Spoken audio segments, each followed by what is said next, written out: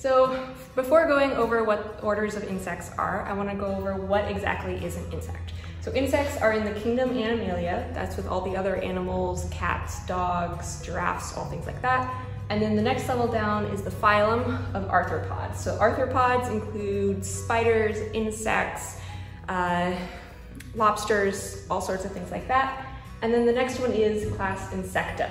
So this includes all the different insects in the world. Below, in, below class, the next grouping is order, and there's about 25 to 30 orders of insect in the world. I'm only gonna go over about eight of the most familiar ones that you're most likely to see around. And some of the definitions of an insect are that it has three body segments, the head, thorax, and abdomen. It'll have three sets of, uh, three pairs of legs, all attached to the thorax, and usually two sets of wings, also attached to the thorax. Some insects might only have one or no wings. Some of them only have two wings during certain parts of their life cycle. And the last thing is that they have two antennae.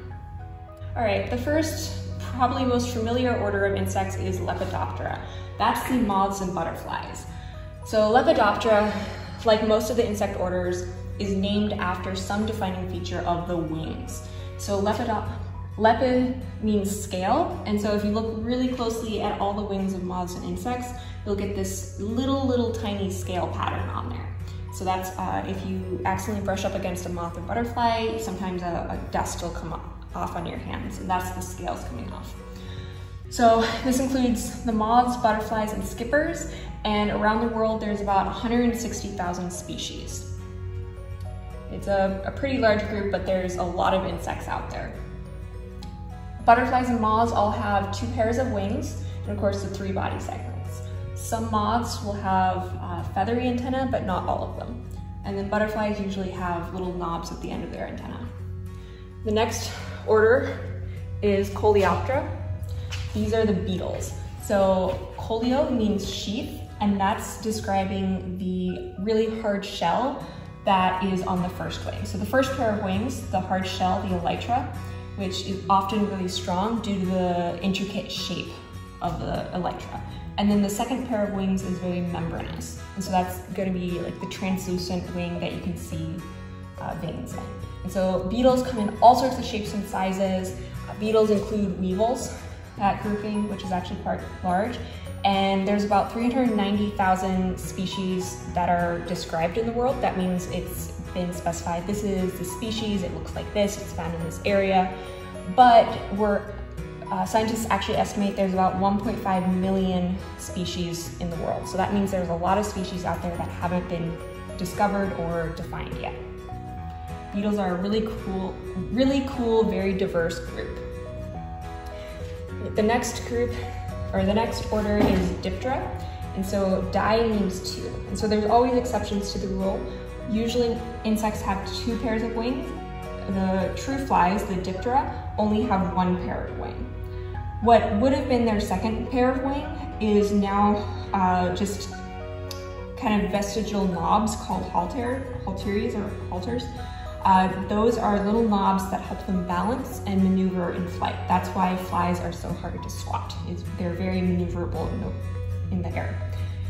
So not all flies, this kind of looks like a, a typical house fly or fruit fly, but flies come in all sorts of shapes and sizes. This might look something like a crane fly. And they often have a long uh, sucking mouth part, like a proboscis. And there's over 150,000 species worldwide of flies.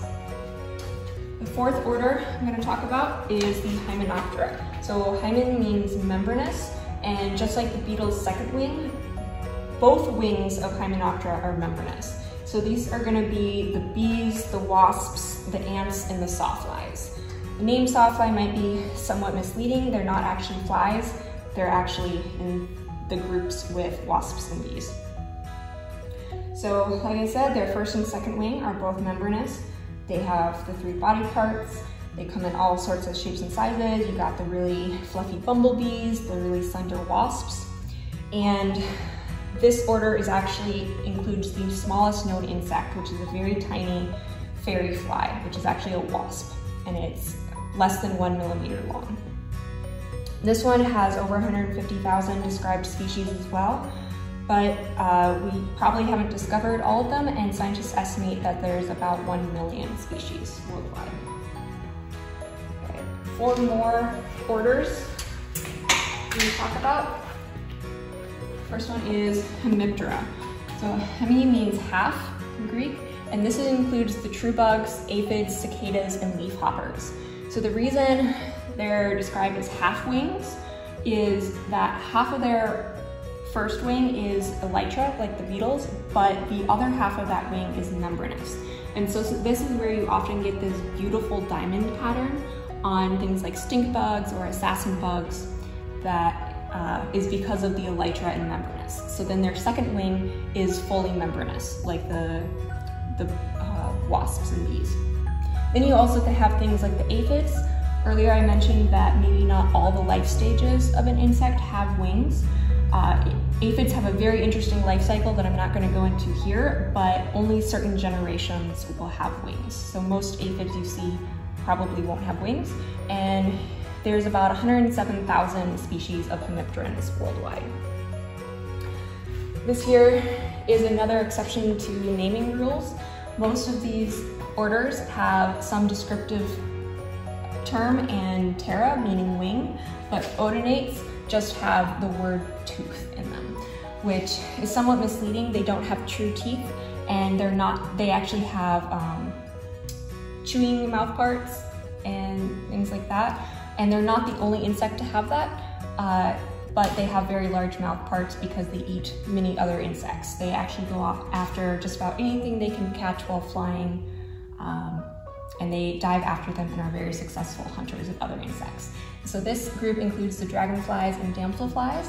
They have two pairs of wings as well that are both membranous.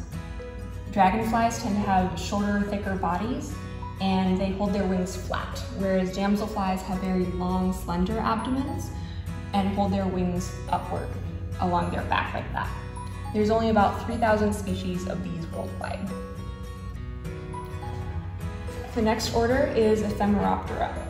Ephemeral means very short-lived or not lasting very long, and that's due to an interesting factor of their life cycle is that the adults will only live between a few hours and a couple weeks. Most live only about two to three days.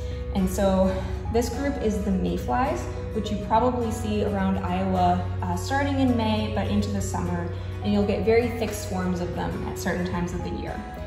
So these guys have uh, wings that they hold upwards along their back. They're often very triangular shaped wings.